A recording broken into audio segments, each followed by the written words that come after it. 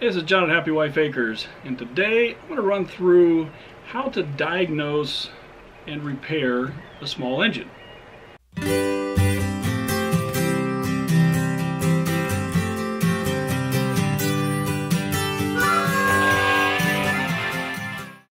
This obviously is a chainsaw, but the things that I'm going to talk about, it doesn't matter if it's a chainsaw or a weed eater, as long as it has a small engine, could be a push mower.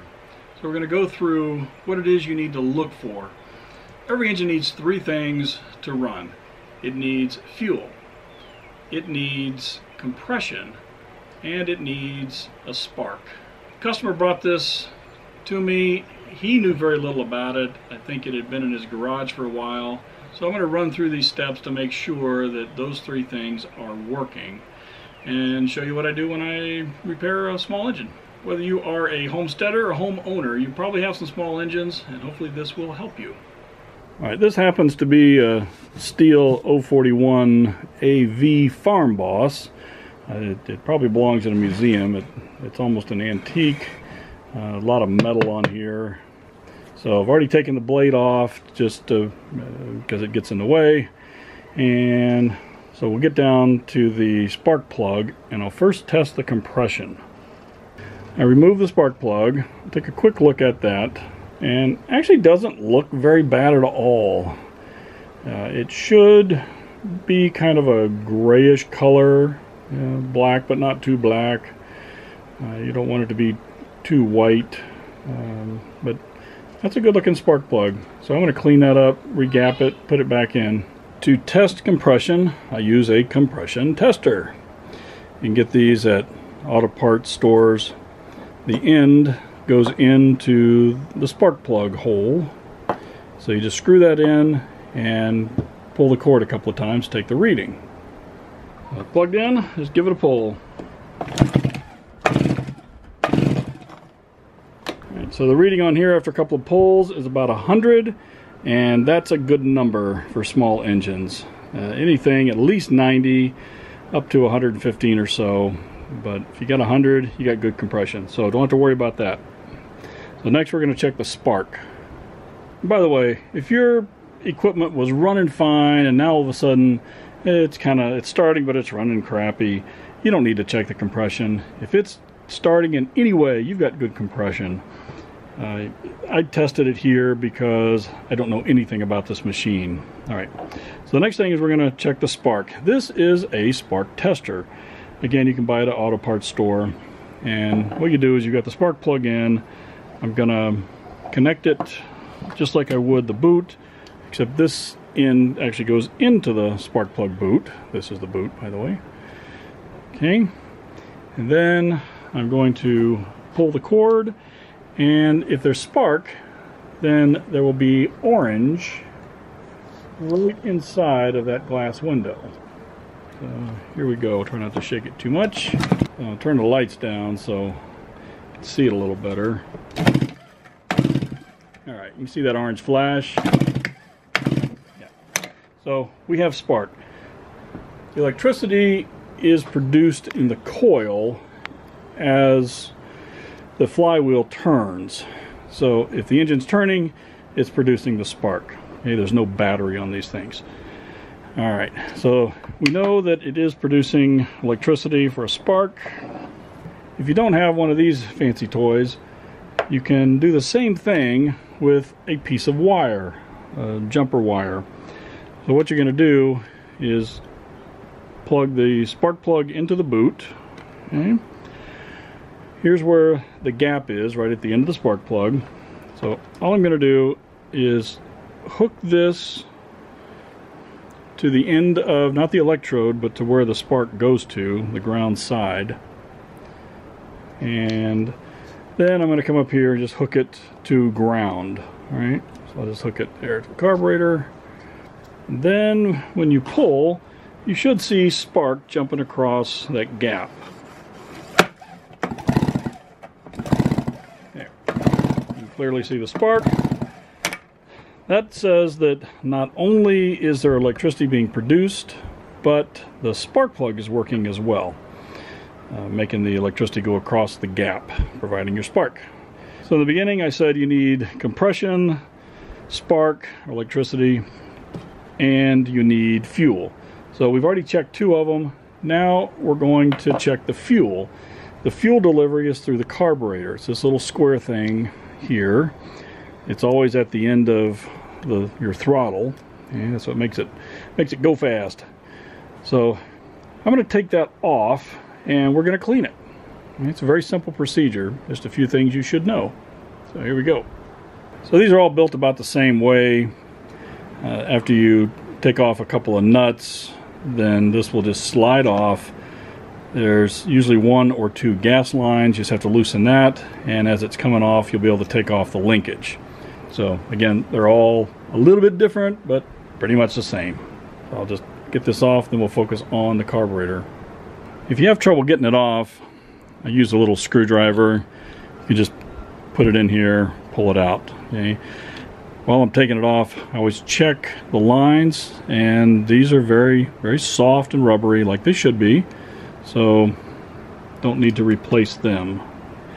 But you do want to make sure that if it has been replaced, that someone used actual fuel line, because non-fuel line will melt on you.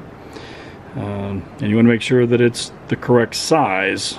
This thing pulls up and off comes the linkage and now we have our carburetor. Carburetors, again, they're all built about the same. They will usually have two sides to take off. Here, one there. So I'll just take off the screws. Before I even started, I blew all this off with a compressed air. If you don't have an air compressor, I highly encourage you to get one. They're very handy. So there is a gasket under here. It, it likes to get stuck. This one's coming off pretty easy, so happy about that. Alright, so I'll pull that off. Then on the other side, also pulls off. if they get stuck, I use a razor blade and I just start on one corner and then very gently encourage it to come up. Don't want to rip this or you'll be buying another one. And depending on the, the age and the type, sometimes they're cheap and easy and other times not so good. So the best way to ruin a carburetor on a two-stroke engine is to buy the absolute cheapest fuel that you can. It's mixed with ethanol, and ethanol tends to just dry things out, the rubber. Um, but get the premium fuel. Okay. This actually feels good. I'm very happy about that. I'm going to try and get this off. Again, on this one, you've got all the time in the world. Do not rush it. Trying to find it, order it, pay for it. That's going to take way more time. But if you can get it off, reuse it, it should run well for you. Okay. So for most carburetors, this piece right here is what will go bad. Uh, there will get some dirt clogged in it, but a lot of times it's this. It's called the diaphragm, and its job is to go up and down, pump with the vibration. It should feel like silk. If it's crispy and goes crunch, crunch, crunch, it's bad. Get a new one. Okay? So we got that apart. Then this right here lets gas in. There's a spring under it. If you can see, this goes up and down. There's a little needle valve in here. So it's held on by one screw. Sometimes the screw's on this side, this side. But you want to hold that down with your finger so that spring doesn't come flying out. Then unscrew. And then let everything come out. Okay. There's the little little spring. There's the needle valve. Okay. The whole assembly. The last thing to take apart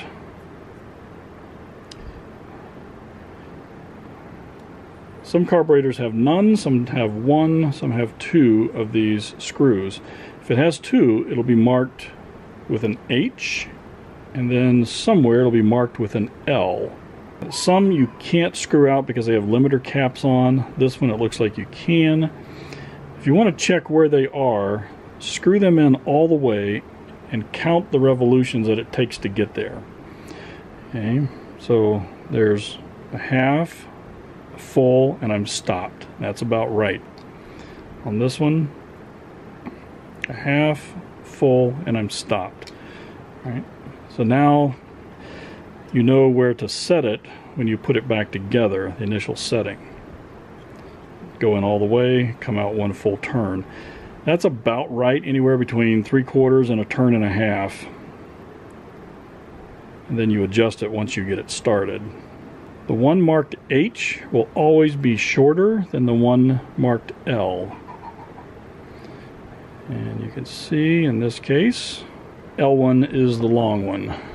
So now the carburetor body is apart, and all the pieces are off of it, and it can be cleaned. So at this point, I'm going to spray the carburetor body out with carburetor cleaner. You can get this at Auto Parts or Walmart uh, for two or three dollars. So what you want to do is you want to spray any orifices. You want to wear eye protection here because this has a tendency to, to bounce back at you. It does burn a little bit if it gets on the skin. But where you took those high and low screws out, you want to spray through there and then the ports you just want to get it clean. The gas has a tendency to get uh, either gunked up or have like a film on it. And you want to get that off. You can open up these ports spray down in there. Okay. just want to get it clean. That's it. That's all you need. Okay. This dries very very quickly. You can blow this out with some compressed air. Don't use a whole lot of pressure on this. Just be very judicious. Put too much pressure and sometimes things come loose. Not good. This carburetor did not look very bad. A lot of times there'll be a lot of dirt around here. Um, so it looks like it was very well taken care of. It, it probably just got parked in a garage for a while uh, before someone brought it to me. But you do want to want to spray these off. Just clean everything.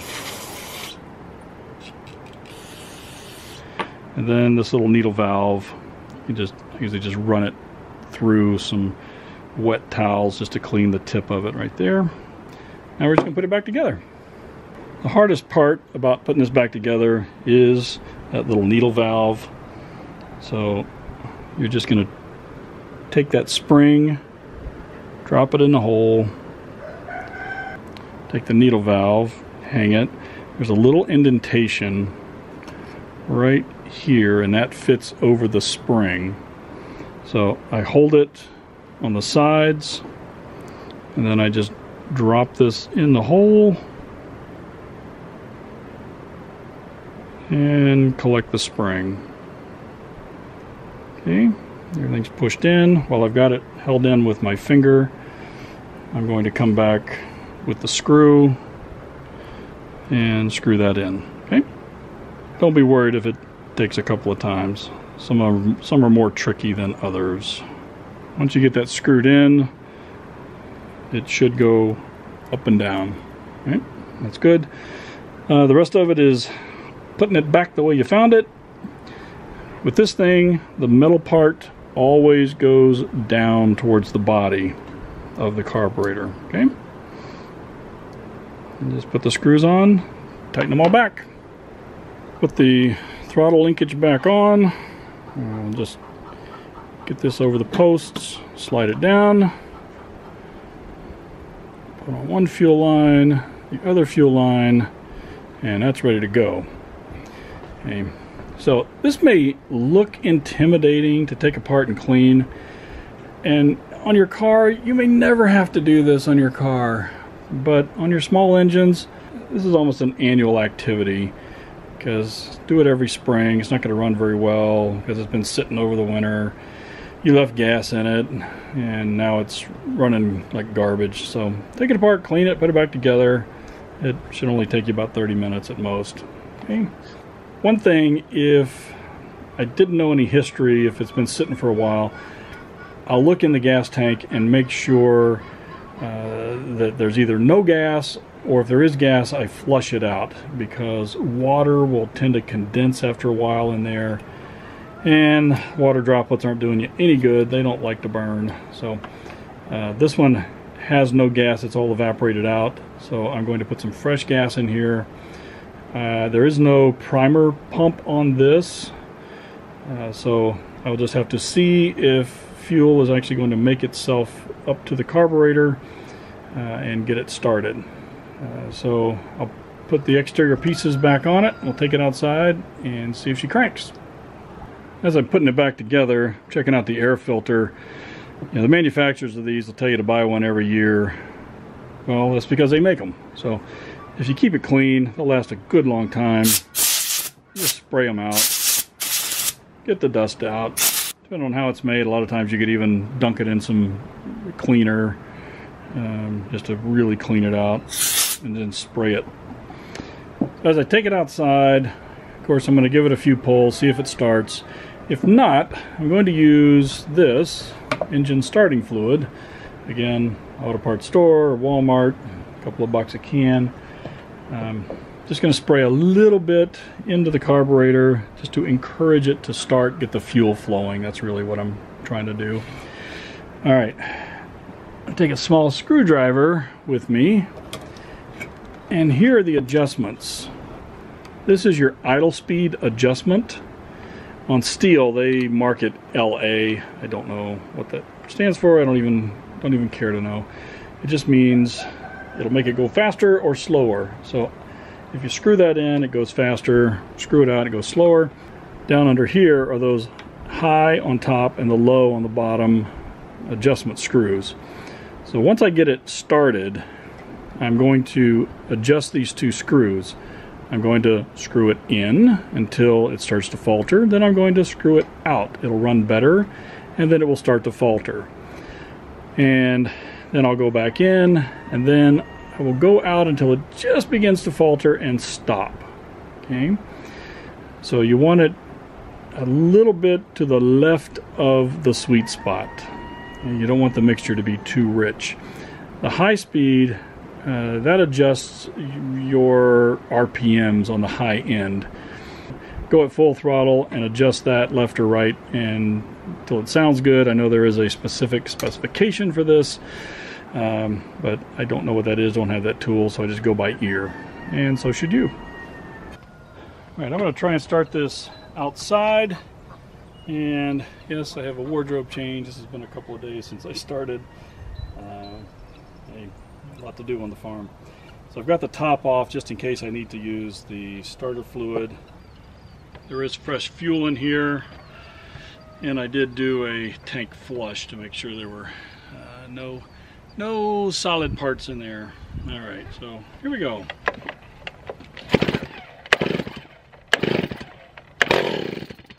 All right, there's some life. That's a good sign. I'm gonna back off on the choke just a little bit and give her another pull.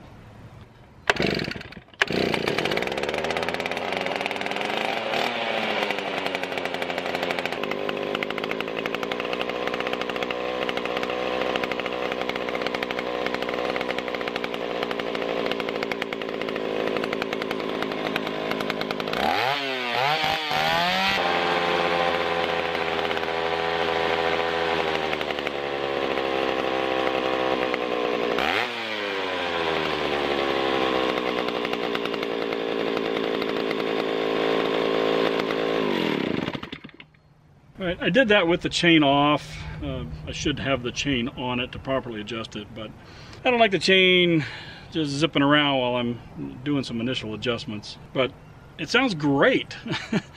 so I'm ready to call the customer and tell him, come pick up your, your chainsaw. So I want to take you through the process that I use to diagnose and repair small engines. Again, not the specific model, but any two-stroke small engine a lot of times you go to take it to somebody and you say, it's going to cost me more to get it fixed than if I just got a new one.